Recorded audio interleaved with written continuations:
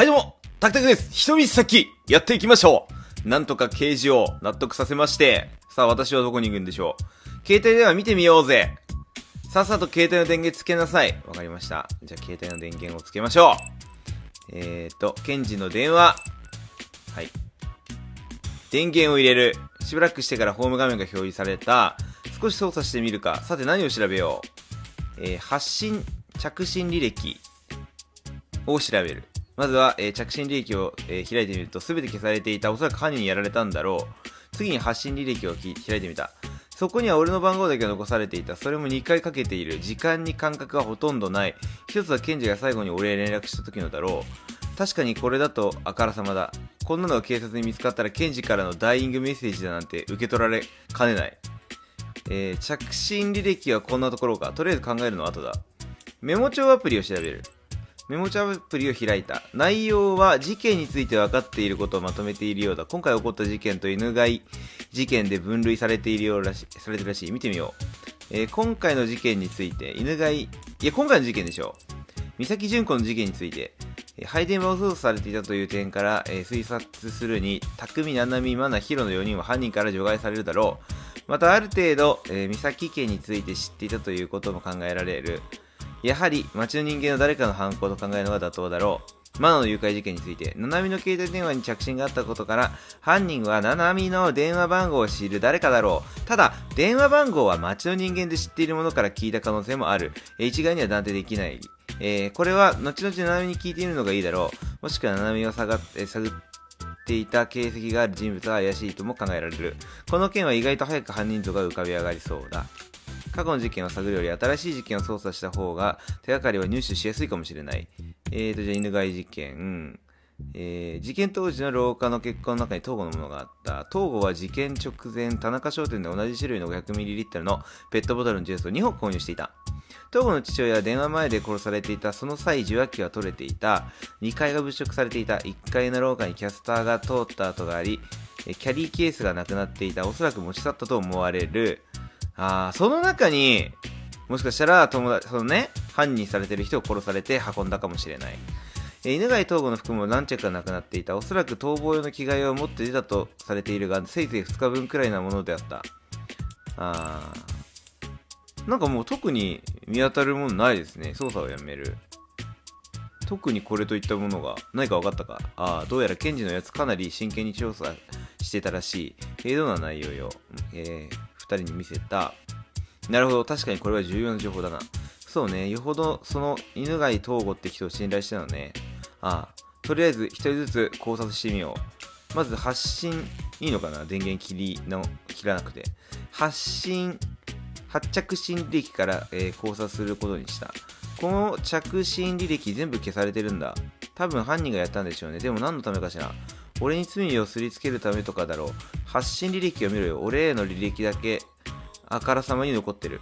ああ、なるほどね。そこにあんたの履歴が残っていれば、えー、ケンジさんが犯人に伝えるためのメッセージとも思えるわね。ああ、2回の発信履歴が残ってるのは1度目は犯人が発信だけしてすぐ切って履歴だけ残したのかもな。ああ、それがまず一つだろうな。あとは、発着信履歴の中にある、えー犯人の痕跡を消したかったとかが、とかか。それって検事の携帯電話帳の中に犯人がいるかもってことか？しかもここに来てから連絡を取った誰かの中に？ありえないことじゃないだろう。実際消されてるんだ。そういう意図があったと考えてもおかしくはない。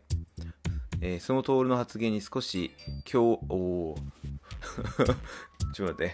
疲れた。おいおい、ケンジがこっちに来て連絡を取ったやつって、俺の昔の連れもいるかもしれないんだぞ。あいつら、そんなこと、するわけないって、トールの真に迫った表情に思わず黙る。お前だっておばさんを殺そうと考えてたんだろう。トールの言葉が胸に刺さる。それはいいか、匠。真実っていうのは残酷なこともある。あらゆる可能性を考えていくべきだ。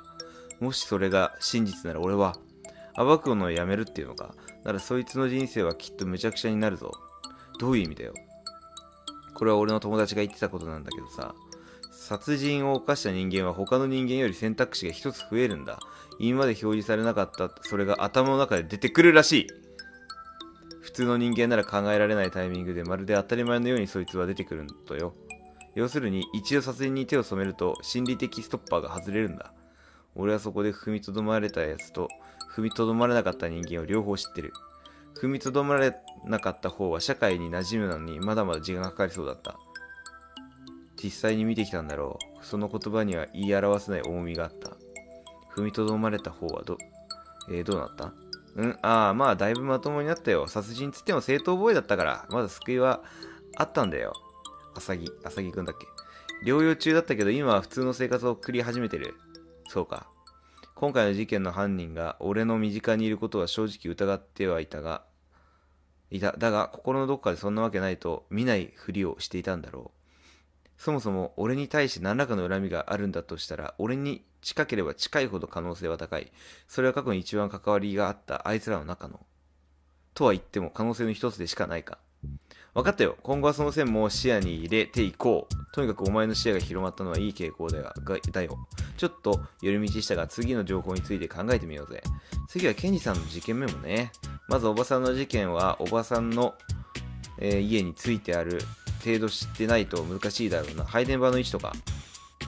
それとケンジさんは、マナちゃんの誘拐事件の時、ナナミって子に電話があったことに注目してるな。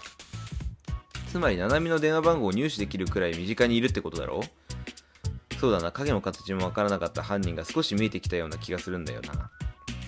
ケンジもその点から犯人を割り出せ、えー、出そうとしてたっぽいしな。でもなんかうかつよね。メッセージだけ残し姿を見せない犯人がなんでその時だけあんたと電話したのかしら？確かにな。その事件だけなんか、えー、直、直情的だよな。わざわざ誘拐して探さな、探させるなんてさ。そうね、でもその分手がかりは大きいんじゃない？ケニーさんもそこを切り口にしてるんだから。それはそうなんだが、えー、ここで考えてわかることじゃないだろう。あと、回しだ。じゃあ次だ。ケンジさんが一番調べている犬飼事件とやらについてだな。これは熱を入れてただけあって考えることが多いな。そういえばお前ら犬飼事件の概要を知ってるのか？いや、詳しくは知らないな。それとなくネットで調べたくらいだよ。じゃあそこから話すか。はい。二人に話したと。なんというか、めちゃくちゃね。で、今起きてる事件がその続きってことらしいんだが、正直わけがわからないんだよ。ケンジの事件はともかくとして、最初のババアの事件にマナの誘拐に関しては、全く関連性が見つからない。関連性か。俺が話している間ずっと余っていた。トールが口を開いた。例えばこういう仮説はどうだ？犯人は犬飼統合事件とは全く関係のない理由で事件を起こし、ただ単純に行方不明の犬飼統合を利用した。で、事件が起こったことで、ケンジさんが、えー、動き出し、今回の事件の決定的な証拠か情報をつかまれてて、殺そうとしたとか。なるほど。トールの仮説は筋が通っていた。ありえないことではない。むしろ一番しっくりくる。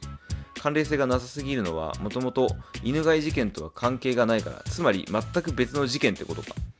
模倣犯を装って、トールを、あ、トールというかね、匠をはめようとしているってことか。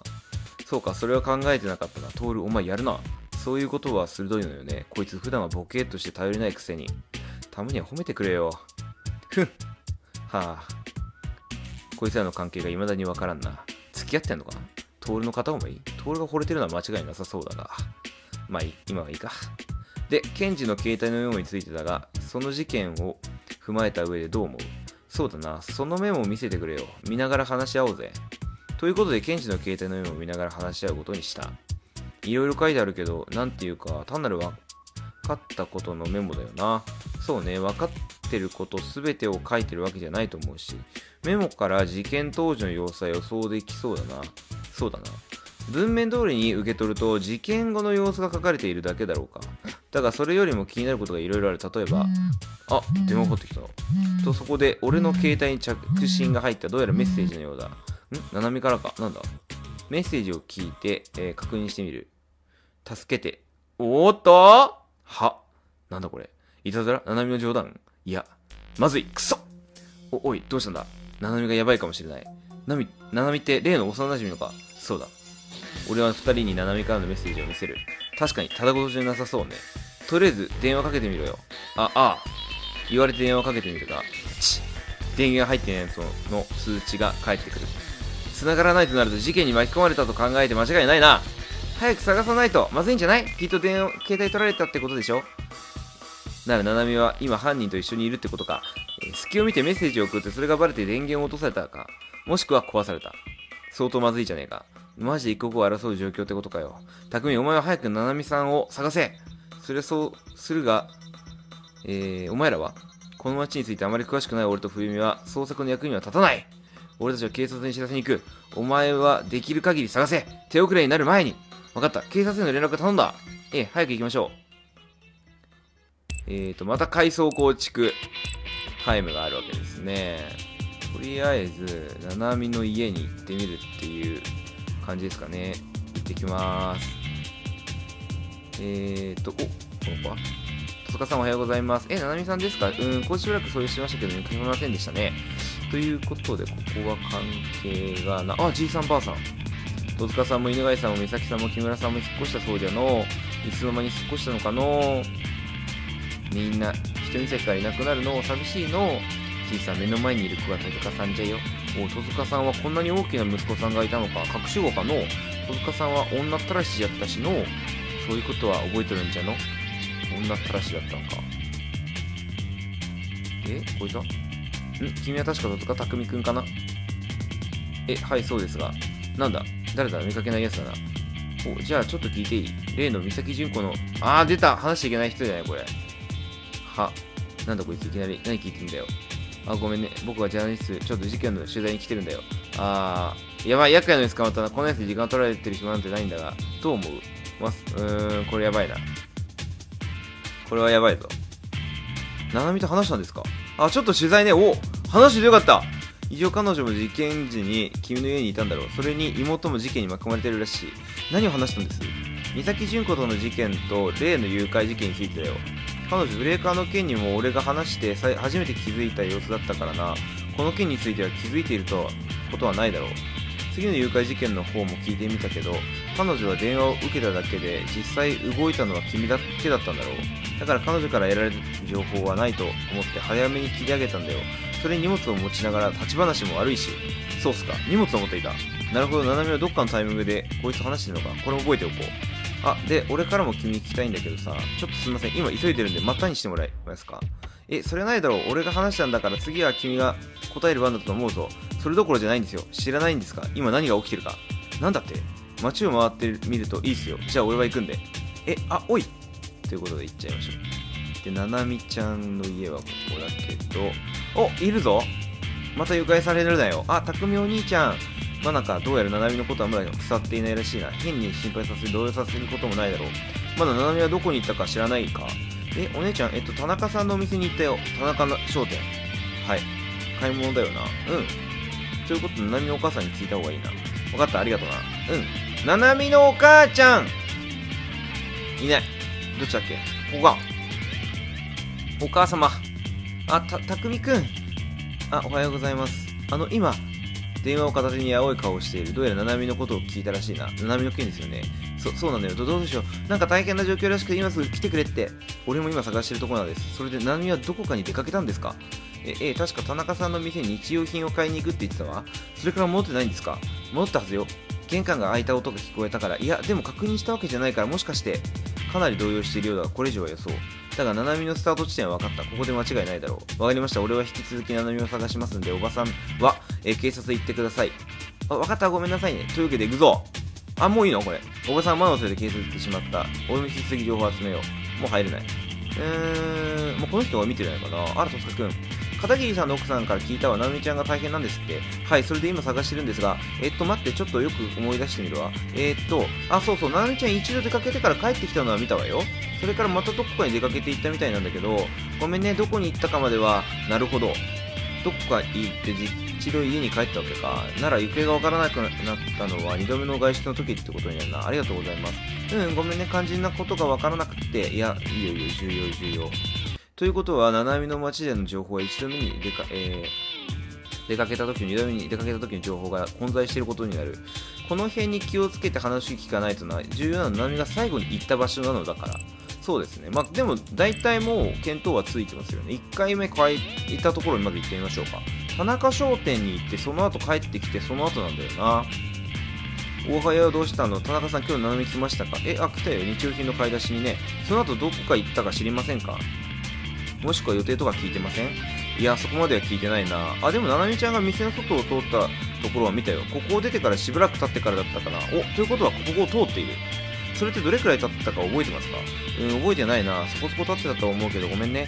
いえ、大丈夫です。助かりました。それでどうしたの？ななみちゃん、携帯電話でも忘れた？いえ、それがちょっと事件に巻き込まれた可能性があって連絡がつかないんですよ。な本当かいまただよ。えー、警察には連絡が行ってるはずですが、もし田中さんも他に心当たりがあったら、警察にお願いします。あ、もちろん。うーん、どこに行ったんだ？絶対受け狙いだ、こいつ。もう、このおばさんには二度と聞かんぞ。で、この前を通ったって言ってるんで、ーん、人はこの前にはいない。もう一回聞いてみる？うーん、いない。うーん、ひあ、俺このおじさんなら。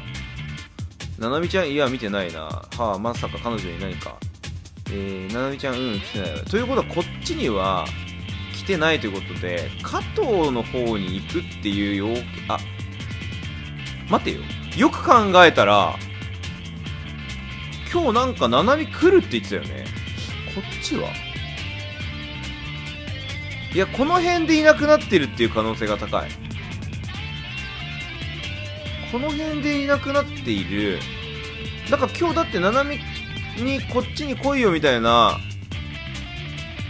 ことを言ってたはずだぞ。前回で。まあ、他にもちょっと情報収集してみよう。これだけじゃ足りない気もするしな。うーん、あダメね。目撃した人は結構いるけど、決定的な情報がないわ。小さな町だけあってに、えー、目撃情報が多いのよ。時系列にまとめられれば、最後に立ち寄った場所も、えー、特定できるかもしれないけど、まとめる、まとめようにも何かが足りないのよ。ああ、もどかしいわ。ななみちゃんね、うん、さっきそこの道路を歩いていたのは見たけど、何回か行ったり来たりしてたな。最後に見たのはこっちに戻ってきた時だったかな。まあ、作業しながらだったから全部見たったけど、あ、待てよ。最後に戻ってきたのは、ーん。あ、この子たちはなんか見てるかもしれない。あ、たくみ兄ちゃん。え、ななみお姉ちゃん？うん、見てないよ。で、こっちには来ていない。えみちゃん、知らない人と話しちゃダメなんだよ。ガキ。名前ガキになってる。ひどい。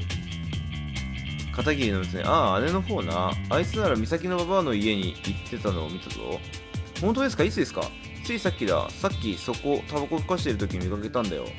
妙にキョロキョロしやがったな。あれはなんかやらかす時のはそれだ。俺も昔はいろいろやったからな。ああいうのはすぐわかんだよ。まあ少ししたら戻ってきたけどよ。なんつうか浮かねえ表情してやがったな。そうですか、どうもです。ババアの家どういうことだ？なぜナナミはそこに行った？クソ、ナナミの居場所を知りたいだけだっつうのになんでこう妙な行動をとってるんだよ、あいつ。確かに。とにかく有力な情報の一つか覚えておこう。まあ一応言ってみます？うーん。今んとこ行けない。あああ、通るか。来てないみたいなやっぱり人岬のどっかにはいるんだ。えー、これで一回ちょっと構築してみるなんとなく構築できるような気もした、するんだよな。おばあさんにだけ話してみるってことできるのかなななみちゃん一回、あの子ならついさっきこの辺で散歩中にすれ違ったね。電話をしながら歩いとったよ。危ないよって声をかけたけど、何やら夢中で聞こえてなかったかもね。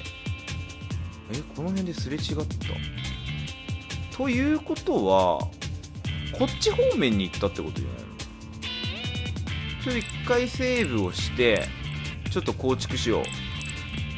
多分もういけるだろう、これ。階層構築。で、これ途中でキャンセルできるんだよな。構築してみよう。まずは、家に着いた。向かった先は、田中商店に向かいました。はい。で、補充しまして、で、一度、家に帰るけど、ここで、多分、荷物をいっぱい持ってるという状態で、はい。初めて知ったから、で、一度戻ったと。その情報は、はい。知っていたと。で、でブレーカーの情報、はい。家族に顔を見せないですぐに出かけたようだ。その慌てて出て行ったことがわかる。その慌てるほどの用事とは何だろうか。で、その後に、こっちに向かっていったから、はい。この人ね。そう。こっちですね。来たわけだ。一体何をしようとしてたんだろうか。誰かを探しに、調べ物をしに。そうだ、七海は田中商店から帰りに例の記者からブレーカーの件について聞いた。そう。ブレーカーを見に行ったんだよね。それを確かめるためにここへやってきたんじゃないか。おそらくキョロキョロと周りを気にしているのは、えー、事件現場に勝手に入るのを見られたくなかったんだろう。まあそれは当然か、いくら確かめるだけとはいえ、人に見られればよからぬ想像をされてしまう。えー、実際目撃者の親父がそうだった。その後ブレーカーを確かめた七海はまた戻ってくるってわけだ。で、戻ってきて、このまま、えっ、ー、と、また田中商店の前までは、え、この段階ではこっちに来てないはずだ。いや、嘘でしょマジで。で、戻ったはずなんじゃないこっちはまだ見てないから、こっちは来てない。ルート的にはこうだよね。こう来て、こう来て、戻って行ってるはず。え、でも来てんじゃないあ、もしかしてこう行ったのか？あ、でも行けてないな。いけない。こっちには来てないんだ、じゃあ。警察行ったってこと？あ、ここでちょっとじゃあ一回、警察署に行ってなかったわ。こっち行けんのかな警察署は。あ、警察署行けるこの人見てたじゃあ。何があったのかしらさっき交番の人が慌てて出てたのでどうしかしたのかしらね心配だわ。あ、七海見ませんでしたかえ、七海ちゃん、そういえばさっきここに来てたわね。なんだか警察に話があるみたいだったわ。なんか事件でもあったのかしら心配だわ。おおさっき言ってそれ本当ですかそうなのよ。でも中に警察の人がいなかったみたいで諦めてどっかに行っちゃったみたいなのよね。マジかどういうことだ？なぜ七海が交番に警察に何か用もでもあるのかまさか例のボイスレコーダーの件を言いに正直あまりいい予感はしないな。だがいずれにせよこっちに来たのは間違いない。有力な情報の一つとして見てみたらいいだろう。なるほど。で、こっちに来て、このじいちゃんは、うん、見たような、見間違いか、いや、わからんの、すまないね。こっちには来てたという情報を得たんで、じゃこっちに来て、ってことですね。じゃこれでまた、えっ、ー、と、構築し直しましょう。どっからだっけ？まあ、最初からか。まあ、これちょっとかいか、えー、カットしますね。また警察のとはいはい。で、この後に、警察署に行きましたよと。この人に話せばいいのかな？その情報は、はい。このおばさんから聞いた。はいはい。で、あいにく不在だった。で、この後、七海はどこへ向かった？これいいのかな言っちゃって。で、一度田中商店の方にも通ったんですよね。はいはいはい。ここまでなんだよね。で田中商店の方を通ったのを見たと田中さんが言ってて、そうだ、七海はきっとこれがいる民宿に向かったはずだ。そう、約束してたから。そう、予定があった。本来七海の最終目的は民宿だったはずなんだ。では、なぜ七海は民宿に来なかった？わからない。またここから引き返したのか？そうだすると行く場所は限られている。とにかく七海はこっち方面に来てないってことだ。これ以降七海の行動は不明だ。あとは自力で探すしかない。やるか。これは何大丈夫なわけある程度の構築が終わった。あとここから自力で探してみるしかない。行こう。これはもう大丈夫なわけだが、心当たる場所を探してみては、七海は見つけることができなかった。えー、これもダメ？やがて俺がたどり着いたのは、ここ。ここに来る頃にはもうすっかり暗くなっていた。警察もここを調べたんだろう。今は誰の気配もなかった。七海。七海を巻き込んでしまったのは俺の責任だ。俺は結局自分が捕まらないことでいっぱいで七海のことに気が回っていなかった。今日七海と会う約束をしていたことも俺はさっきまで忘れていたんだ。そうさ、俺がもっと七海のことを気にかけていて、きっと心配して迎えに行っていれば、今回の事件は未然に防げたかもしれない。いや、そのはずだ。やっぱり俺のせいってことなのかよ。小さく俺はつぶやいた。ようやく理解したのか。え、うがマジかよ、後頭部。お前は理解するのが遅すぎるんだよ。だから、こんな目に遭う。お前がさっさとこの街から出て行っていれば、きっとこんなことは起こらなかっただろうな。犯人が俺に言う。その言葉を理解する余裕はもうなかった。頭が痛い。意識も薄れていく。そして、じゃあな。もう一度大きな衝撃が頭に受け、すべてが終わった。え、ゲームオーバー。負けない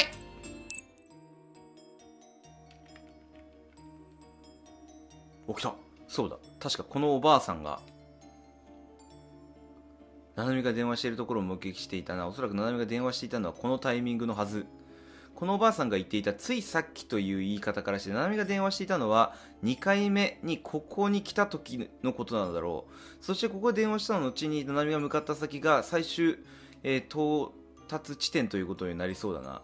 ここまで来たらもう一息だな。次に行こう。ここまではいいんだよな。こっちに行っちゃうと終わっちゃうんじゃないの？民宿に向かったはず。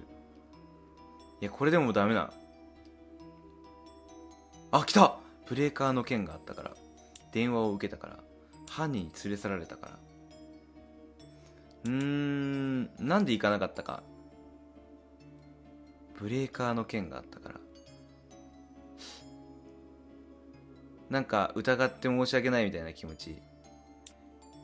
電話を受けたから。どれだろう？犯人に連れ去られたのかな？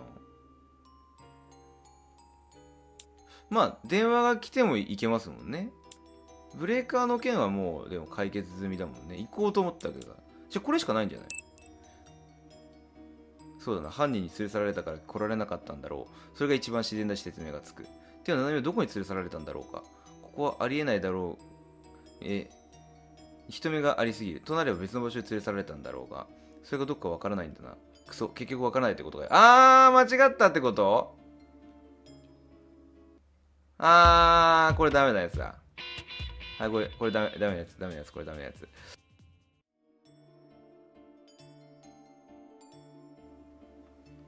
よし。よく考えたらあれなんじゃないですか。電話しながら全然聞こえ聞こえなかったっていうか電話をここで受けたからってことなんだよね多分ね冷静に考えたらブレーカーの件では多分来ないと思うんだよね電話を受けたからばあちゃんも言ってたしねそういえば、ななみは2度目にここへ来た時に電話をしていたという情報があったな。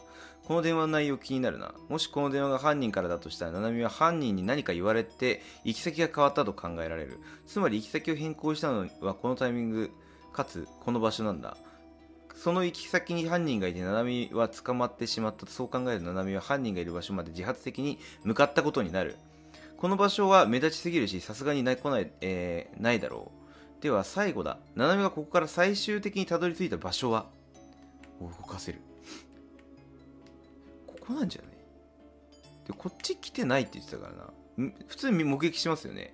ここからの目撃情報がないということは、もう一択なんですよ。民宿に来なかったた目撃情報がない。となるともう下の学校方面しかない。ここ。確かにこっちに目撃者となるような人はいなかった。もしこちらに来たとしても誰もにも見られずに向かうこと十分可能だろう。この先は確か学校。学校があったんだよな。分校レベルの小さな学校だ。今は長期休暇中だし、人はいない可能性が高い。何が連れ去られてからそこまで時間が経っていない。となる、とするならば、ナナミはまだそこにいるんじゃないか。とにかく有力な手がかりだ。よし、こっちに向かってみよう。合ってたー学校だとはね、思っていましたよ、私は。最初から。おばあさんのヒントをもとにね。はい。といったところで、今日はこの辺で終わりたいと思います。すげえ時間かかっちゃったんだもんだって。で、この先行くだけだから次回は。行くだけじゃないけど、はい。なので次回お楽しみに。それではまたお会いしましょう。ではまた。